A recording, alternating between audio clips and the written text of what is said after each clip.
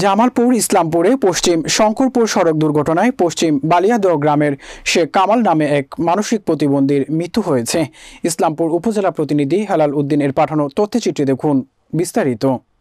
শনিবার দুপুরে উপজেলার সদর ইউনিয়নের পশ্চিম শঙ্করপুর এলাকায় মাহিন্দ বালুর গাড়ির চাপায় এ দুর্ঘটনা ঘটে।